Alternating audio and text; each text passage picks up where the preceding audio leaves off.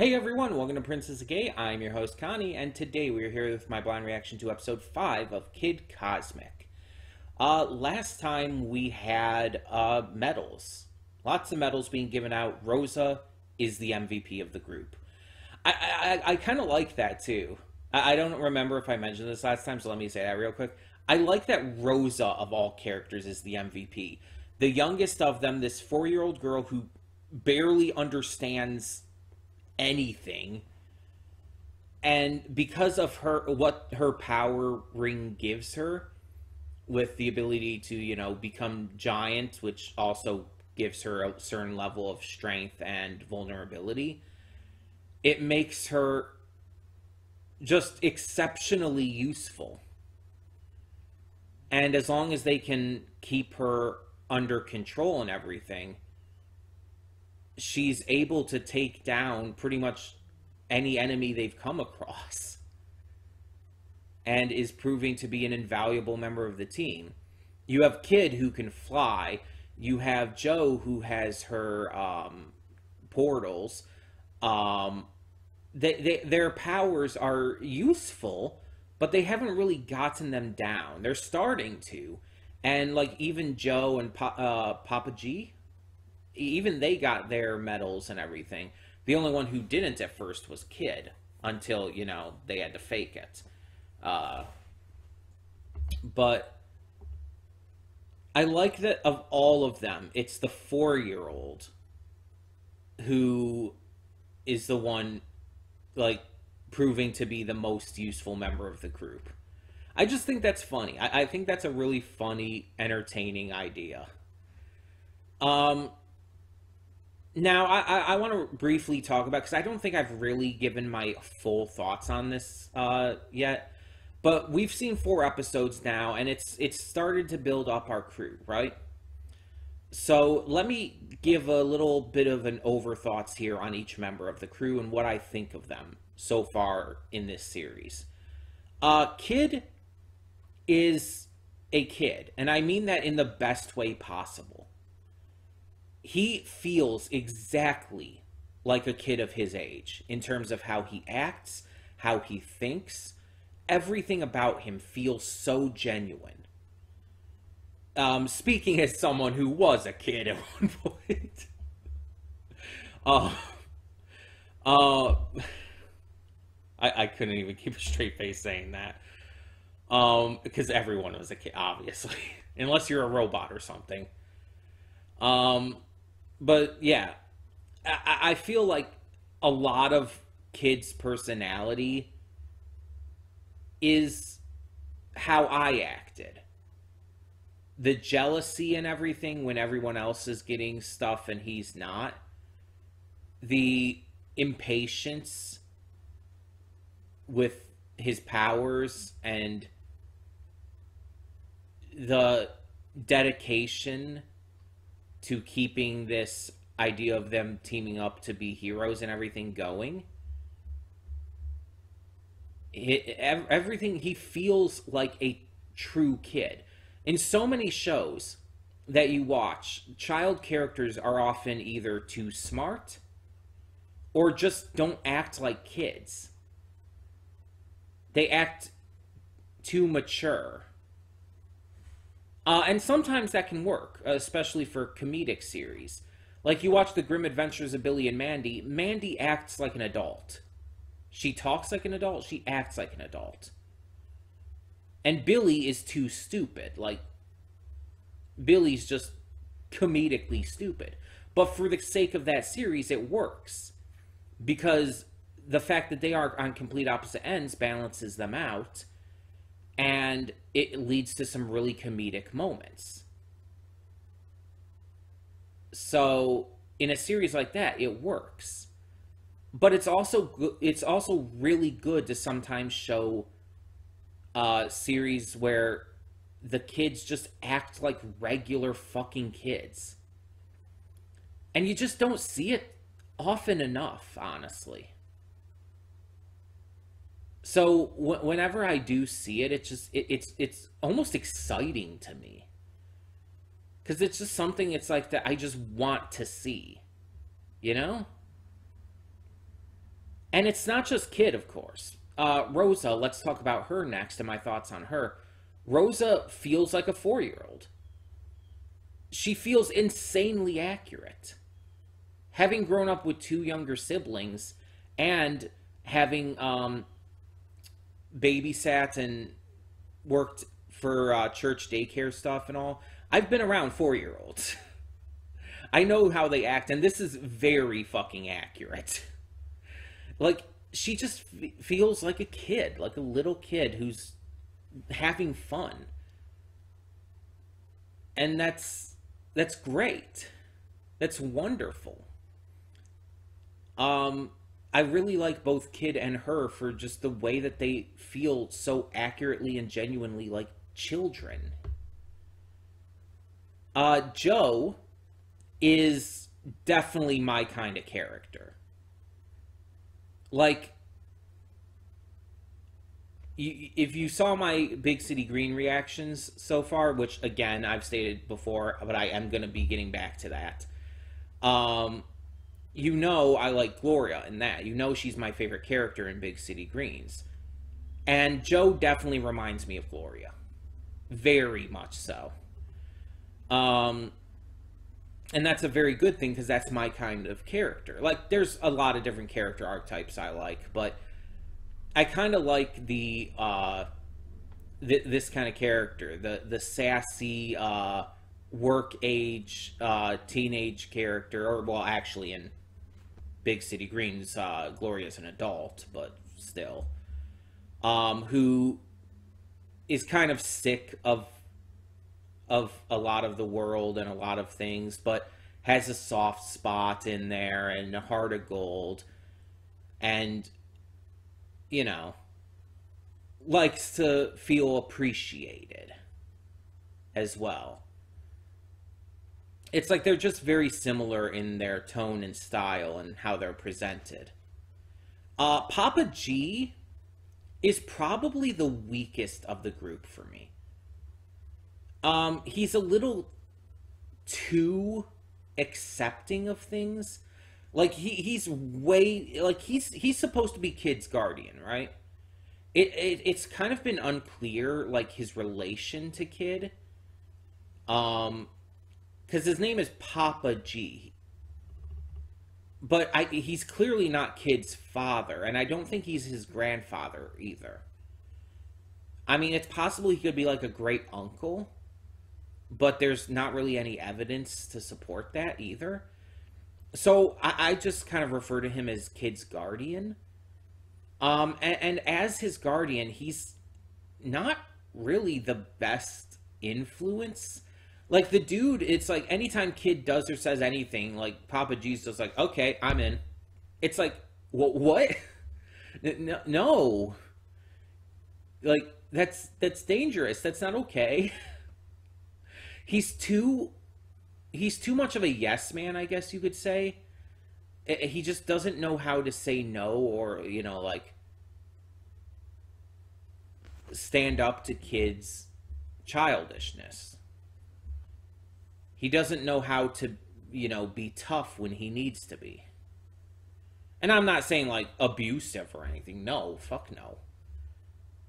But he's a little too accepting it's it's just it's way too easy to get him on your side and he's just he needs to be dialed down just a little bit for me and he's not bad it's just he's a little too accepting a little too high energy a little too goofy for my tastes um tuna sandwich not much to say tuna sandwich is a cat so not really anything to say. There there's some good jokes that they do with tuna sandwich, but it's still a cat. Like the character is not really a character per se. So there's not really much to say on that. And other characters have been kind of infrequent and uh, minor, so I don't really have too much to say about them. I guess the next one I could say something about is uh, Jo's mom. And she's just like yeah, kind of a, a, a tough business owner who clearly loves the shit out of her daughter, but is also, you know, strict on how she treats her. Honestly, she she feels more like Papa G should be more towards what she is. Um, maybe not as strict and everything, but more in that realm, you know. Um, she clearly wants Jo to, you know, follow in her footsteps and everything, uh, take over the diner and all, which is not a bad idea. But it's clear Jo doesn't want to, and that's that's probably her mom's biggest downside is that she just doesn't listen to Jo enough, and doesn't like uh, really know what Jo values and what she wants out of life. So yeah, all the characters so far are good. It's just to varying degrees. If I had to say my favorite, it would be Jo. Uh, it, it, she's just exactly my kind of character who I just really gravitate towards in a, a lot of these shows. Um, a second favorite, though, outside of her, would probably just be uh, Kid. He's just so well handled and written as a kid character. Um, I also didn't count. Uh, I can't remember his name. The alien guy, Tom Kenny, alien guy. I didn't count him yet because he's not really a member of the group. Um, he he's still an antagonist at the moment. He'll probably become a member of the group, but for now he's still an antagonist. Um, and he's not really done much outside of be a, outside of being a snarky asshole, which is fitting for his character and all. But I, I'm kind of waiting to see more of him before I can really get a good feel for what they're going with at the moment. Um, that all being said, though, I am very much enjoying this series, and I'm excited to see where it goes next. So let's get into it and hope for the best. When the screen fades to black, pause this redirect and go to the description below. Follow the link to the reaction, and after you watch it, come back here to the redirect and resume play. Because after it fades to black and then fades back in, everything from that point forward will be my afterthoughts and will contain spoilers to the episode. So, that being said, thank you so much for tuning in, and I will see you at the reaction. And we are back, and we'll begin with spoilers in three, two, one, now. When I first started watching this show, like, I thought this is like, oh, this is this fun little uh, Craig McCracken style show. Definitely has the hallmarks of Craig's work uh, on previous shows like Powerpuff Girls and Foster's Home. You definitely get that kind of feeling, uh, but with a more serialized approach to it. Uh, good character designs, fun little stories, little action sequences. Um, but that's about it. Um, and now I, I can say, like, this is so much more. I, I've said this, I think, about a couple of other episodes by this point, but I, I'm saying it again here. This is the best episode yet. It's it, it's a real good sign if I can keep saying that. If I get to keep saying that about more and more episodes that come up, that it just keeps impressing me to this degree, that's a very good sign.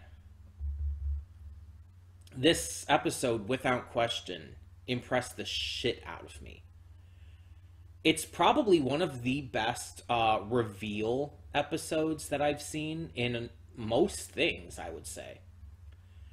Um, and, what I mean here is like, you know, there, there's all these episodes where it's like, oh, it's revealing that the characters have powers or that the characters have been doing something or whatnot. Um, and, and everyone's just kind of finding out about it uh, for the first time. It's, it's like those are usually good episodes, but this I would say is one of the better ones. This is like up there. I, I genuinely believe this is up there with both Amphibia and Owl Houses. Owl House obviously had the season two, the season two mid-season finale, um, with Luz's mom uh, finding out about everything and the the big revelations that happened with that.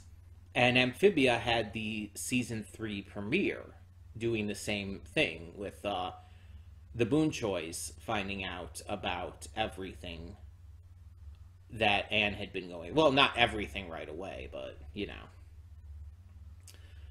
Um, if you wanted to count when the Boon Boonchuys actually found out about everything, that was would still be up there too. Um, but I, I would put this up there with the likes of those kinds of episodes um, for a, a reveal episode because um, this was phenomenal. Um, we knew that they had to find out some point, and only halfway through the season is kind of surprising. But it was done in such a brilliant way. I like how they're all freaked the fuck out at first. Not only by the demon death dogs of doom, but also by the fact that, you know, Kid starts flying, Jo starts portaling, Rosa has a ring and powers too, but you know her parents take that before she can show it off at first. And then, of course, freaking out about Tuna Sandwich having powers, Papa G having the clones. I like that they're freaking out, that they're genuinely scared because it feels natural. It's like, oh yeah, you see a random child that you've known for all his life just start flying it's like, yeah, you're going to be freaked out.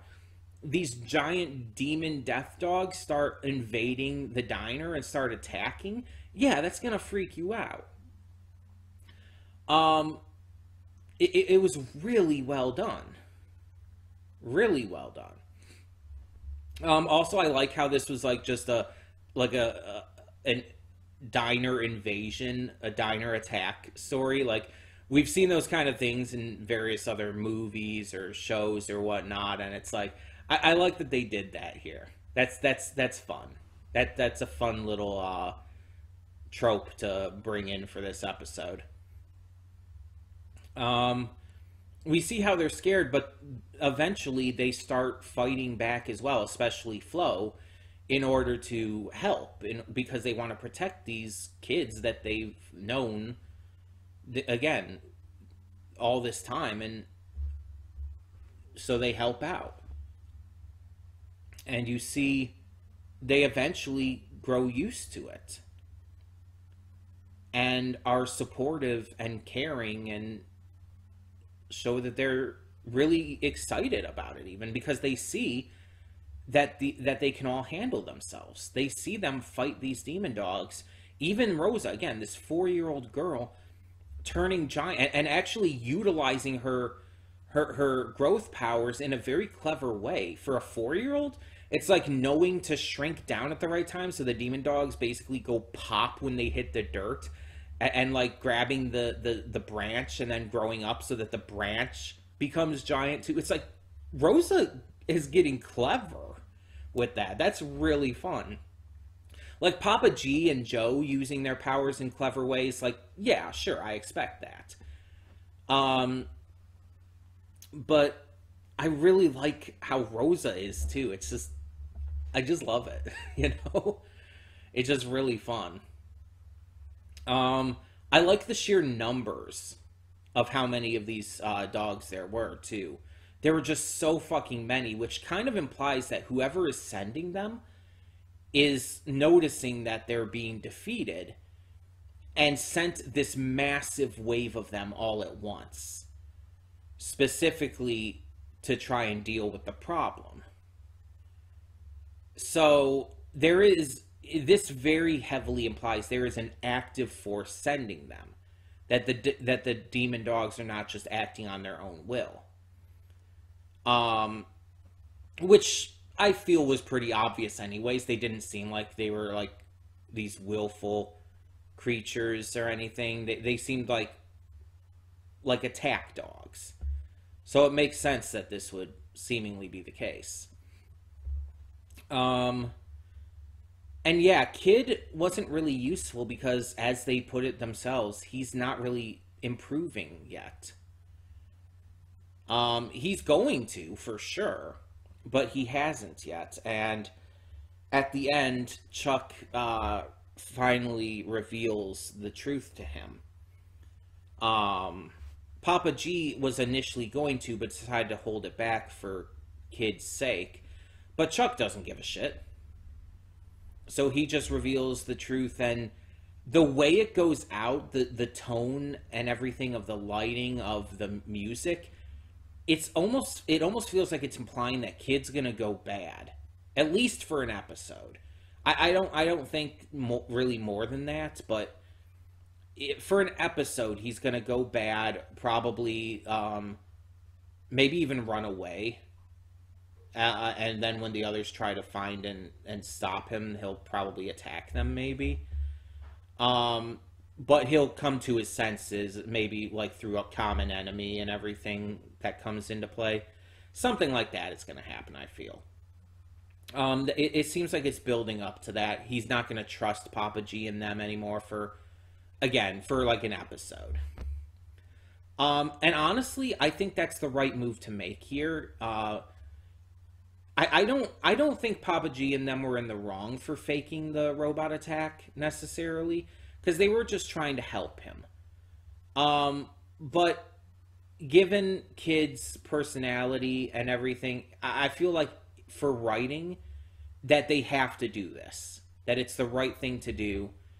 They have to have an episode where kid just can't take it anymore.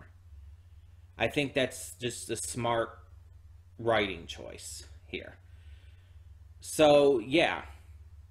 Whether he actually becomes bad or not is like questionable, but even if he just runs away and tries to avoid them, like that works too. We have to have this kind of episode where he's feeling betrayed and useless and whatnot, um, because it's going to make his rise even better it's going to make him actually learning to use his powers mean more. Because he's going to be able to feel that low. And it's going to help him understand what he needs to go higher. To be stronger to be better.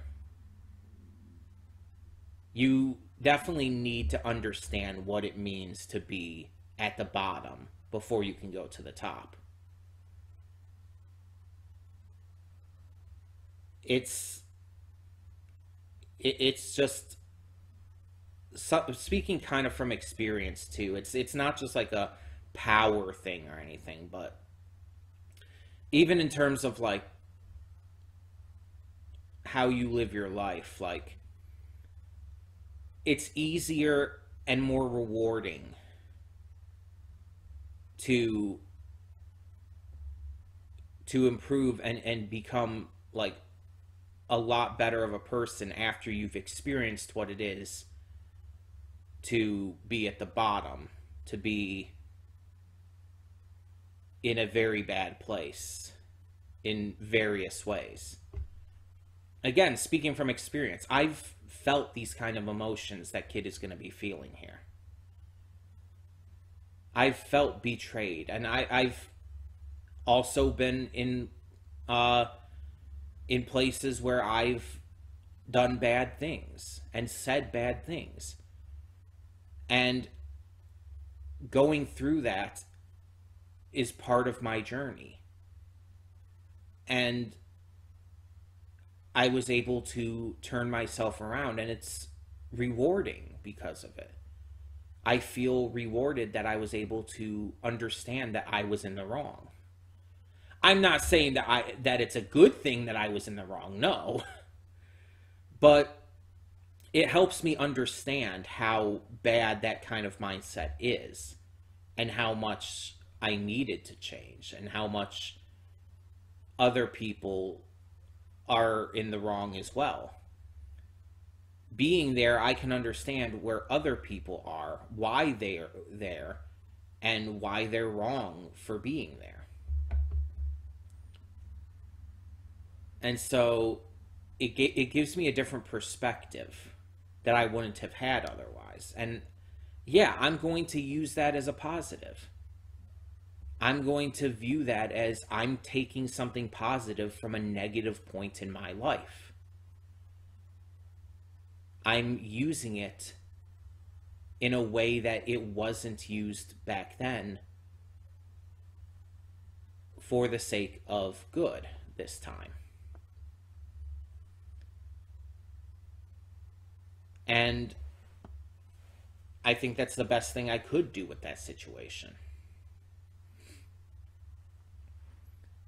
Kid is going to be going through a big lull here. He is going to really feel a lot of pain.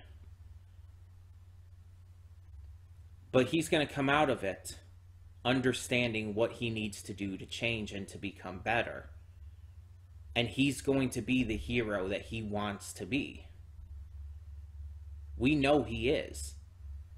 We know by the end of this season, he's going to truly become Kid Cosmic. It's it's great build up, it's great setup, it's character work. This is the kind of shit I want to see so many shows do. And I'm I'm really happy this one is. So yeah, I, I really hope that this series continues to impress me as much as it has been, if not even more. And I really hope that the second half of this season really sticks the landing and gives us some awesome, awesome moments. So tell me in the comments below what you thought of this episode of Kid Cosmic. And for now, I'm Connie and I'm signing off. See y'all next time.